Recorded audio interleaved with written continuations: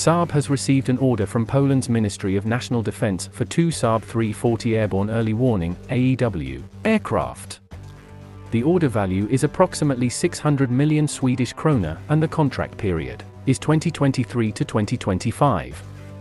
These early warning systems comprise the Saab 340 aircraft equipped with Saab's advanced Erieye radar.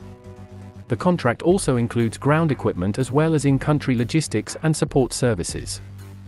Saab has had a strong relationship with the Polish Ministry of National Defense for many years.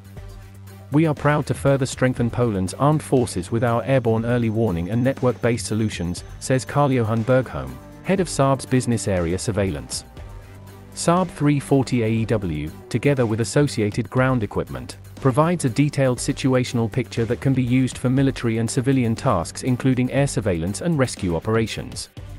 Different configurations of Saab's Erieye AEW, AEW and C system have been sold to nine countries, making it one of the most widely used airborne surveillance systems in the world.